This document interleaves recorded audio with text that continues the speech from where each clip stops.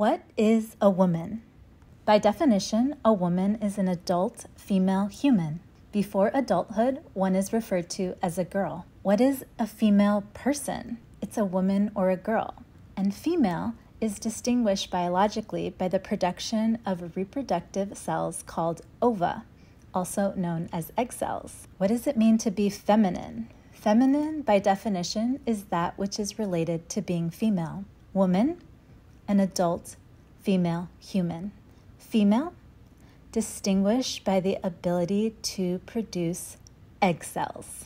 Feminine, that which is related to being female. I'm Dr. Amanda Ramirez, doctor of physical therapy specializing in orthopedics and pelvic health. Within pelvic health, I focus on restorative reproductive medicine. My work emphasizes all things breath, body, and beauty, and I love facilitating conversations around fertility, femininity, your form, and your function.